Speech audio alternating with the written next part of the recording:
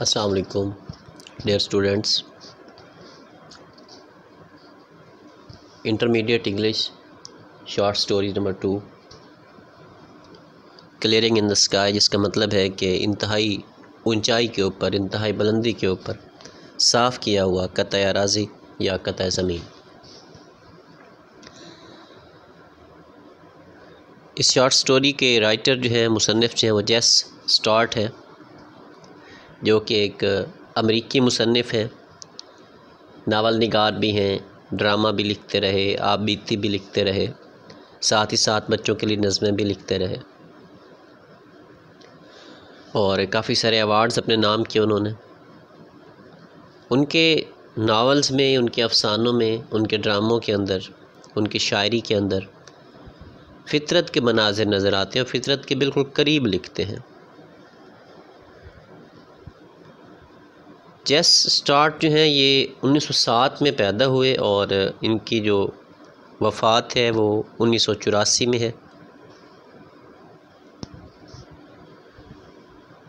Clearing in the sky Jesse Stuart ने इसलिए लिखी कि वो एक बुलंद हिम्मत, एक पक्का इरादा रखने वाले बुज़ुर्ग को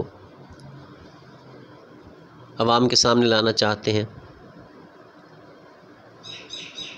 एक ऐसा शख्स जो बूढ़ा ज़रूर है, दिल का मरीज़ ज़रूर है, लेकिन वो फिर भी काम करता है। इस कहानी में मुसनफ़ बताते हैं कि वो एक दिन अपने वालद से मिलने जाते हैं और उनका वालद उन्हें चरागा और सब्ज़ार दिखाने के लिए पहाड़ की तरफ़ लेकर जाता है एक इंतहाई तंग और छोटे से रास्ते के ज़रिए। एक ऐसी जगह जो उन्होंने अकेले अपने बुढ़ापे के बावजूद काश्त की थी। ये जो जगह थी, ये तीन चौथाई एकड़ के बराबर थी। और उसमें बुज़ुर्ग ने, यानी मुसनफ़ के वालिद ने, टमाटर, आलू और अरवी या कचालू जो है, वो भी लगाए हुए थे।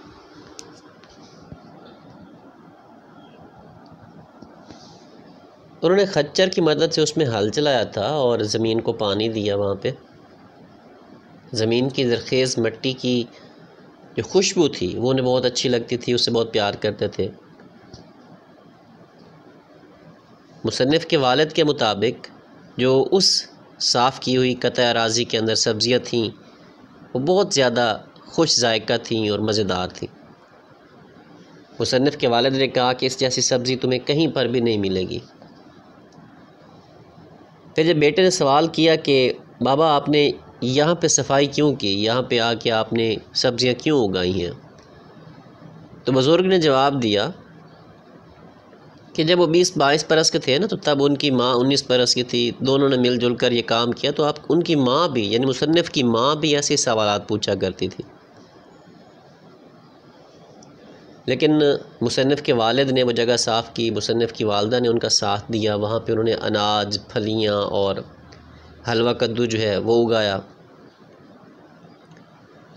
अब सिर्फ़ बुलंदी पर कुछ हिस्सा बाकी बच गया था, लिहाजा डॉक्टरों ने तो बुज़ुर्ग को आराम का मशवरा दिया था भी काम ना करें, बुज़ुर्ग हो गए हैं, उम्र ज़्यादा हो चुकी है।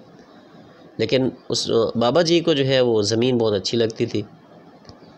बाबा जी ने फ़ैसला किया हुआ था कि वो ज़रूर काश्तकारी करेंगे और डॉक्टर को गलत साबित करेंगे। फिर उन्होंने अपने बेटे को माजी याद दिलाया कि जब वो यहाँ आते थे और गुलहरियों का शिकार करते थे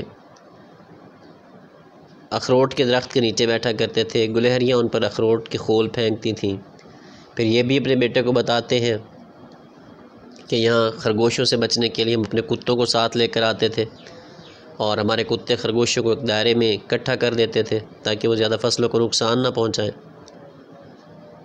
फिर वो ज़्यादा जब बीमार थे तो अपने बेटे को ये भी बताते हैं कि जब मैं ज़्यादा बीमार था तो पहाड़ की चोटी पर जाने के लिए ना मैंने ढलवानदार रास्ते बनाए।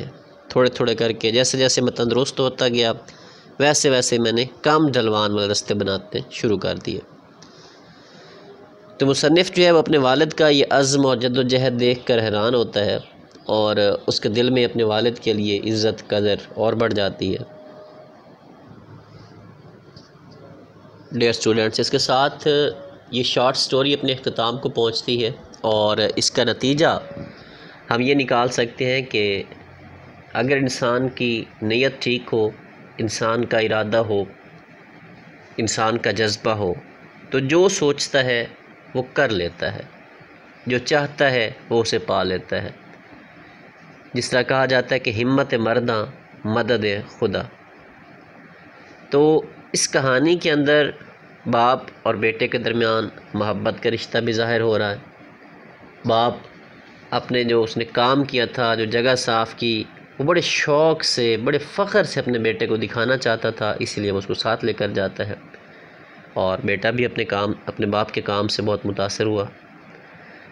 तो हकीकता ये अज़म समीम, एक पक्का इरादा, एक जज्बा, उसकी कहानी है कि कोई भी इंसान किसी भी उम्र में हो, उसे कहा जाता है कि इट्स नेवर लेट अब जब भी, जहाँ भी, जैसे भी आप कोई काम करना चाहें तो देर नहीं हुई होती।